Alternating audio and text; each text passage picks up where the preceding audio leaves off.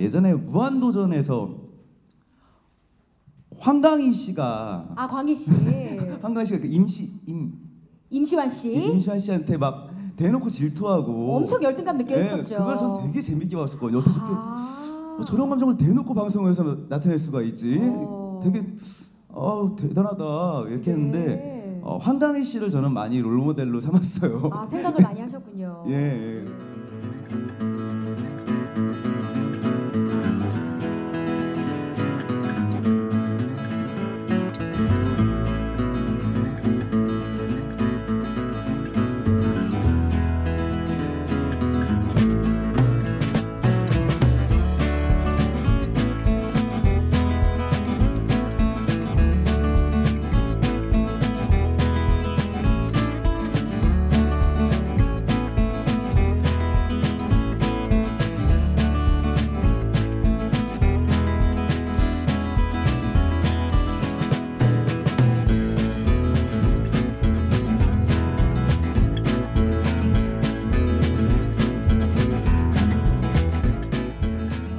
하다는 게 아닌가 싶어서 너무너무 기분이 좋고요. 많은 분들께서 좋아해 주셔서 감사드리고 다른 사람도 할 수 있었다고 하는데 그 중에서 제가 됐다는 게 너무너무 기분이 좋았고 어제하고 또 그저께 저희 기사에 많은 분들이 보고 싶었다고 어, 응원하고 있다고 이런 말씀을 해주셔서 너무너무 감사하고 그다음에 또 행복했습니다.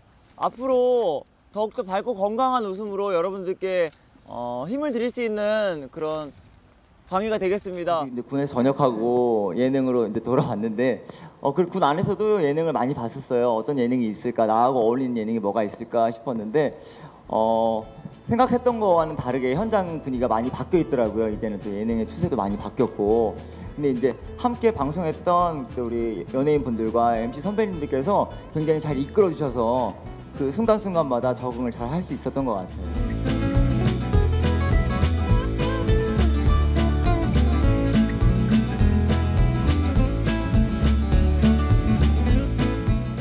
19년에는 여러분들께 MBC에서 또 좋은 모습 보여드리도록 하겠습니다.